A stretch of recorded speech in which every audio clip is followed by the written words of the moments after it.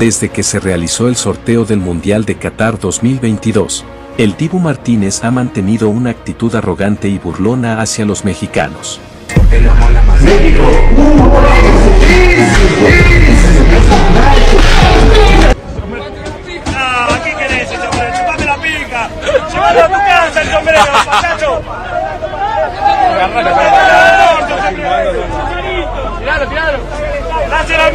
Vamos. Y estas fueron aumentando conforme avanzaba el Mundial, retando rivales y demostrando su arrogancia y soberbia. Además de ser un mal ganador.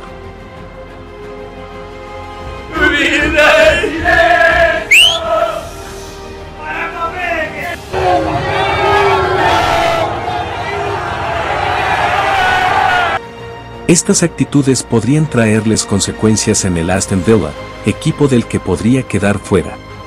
I will speak with him next week uh, about uh, some celebration, but uh, I respect because he is now under his national team, and when uh, he is going to be with uh, with us and under our responsibility, we can speak about it.